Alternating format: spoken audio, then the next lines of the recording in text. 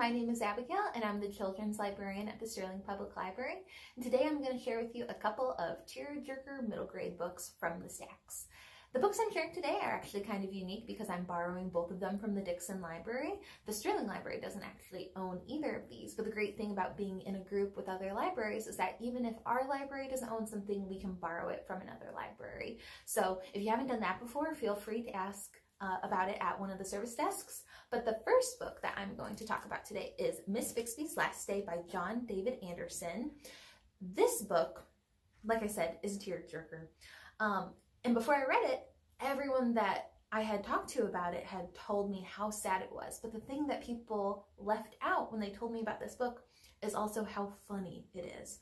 So this story follows three uh, friends, Topher, Brand, and Steve, and Miss Bixby is their favorite teacher in the entire world, but she announces one day that she's so sick that she can't finish the school year. And so their class plans this huge last day party, and then she becomes so sick that she can't even attend that. And so these three friends decide to skip school and give Miss Bixby the last day celebration that she deserves because she's such a great teacher.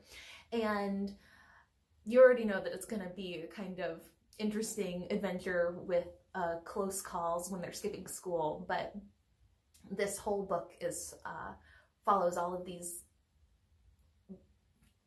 bad situations that they get themselves into, and some of them are more high stakes than others. Nothing too high stakes, um, but they definitely get into some trouble throughout the day, and it's really funny to see how they kind of finagle their way out of that. Um, like I said, this book is a tearjerker, um, but one thing that I really like about this book is that it's really thoughtful and sad, but it has male uh, boy protagonists. And a lot of books that are like that usually have girl protagonists, which is great, but I love that uh, both of the books I'm sharing today have boy protagonists because it shows that everybody of all different demographics can have all sorts of different experiences. Um, and if you're thrown off by it being sad, just remember that this book is laugh out loud funny. So that a Miss Bixby's Last Day. And then the second book that I want to talk about is called Turtle Boy by M. Evan Wolkenstein. So this book is named Turtle Boy because that is the nickname that the main character, Will, his bullies give to him. He also happens to be obsessed with turtles, but that's a whole other thing.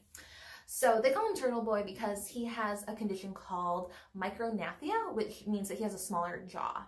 And so um, because he's bullied all the time, he doesn't have a lot of friends and he doesn't put himself out there. But one day, leading up to his bar mitzvah, his rabbi introduced him to a boy called RJ, who is so sick that he has to live at a hospital and he can't leave the hospital.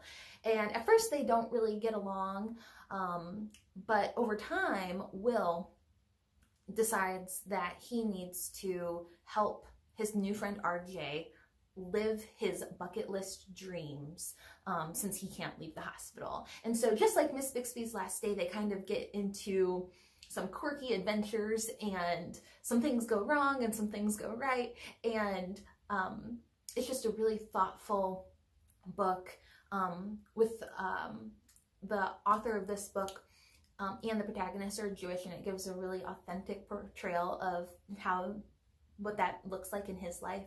And um, there was also some uh, funny parts in this book too. So um, it's not just sad crying all the time, I promise. Um, so that's Turtle Boy by M. Evan Wolkenstein. So we had Turtle Boy and Miss Bixby's Last Day in this video. If neither of these sound good to you, I hope that you will stop by the library and tell us what you like to read so that we can give you recommendations that will work for you because we love helping people connect with their next favorite read. So my name is Abbigail and I hope that I'll see you at the library and we'll see you in the next video.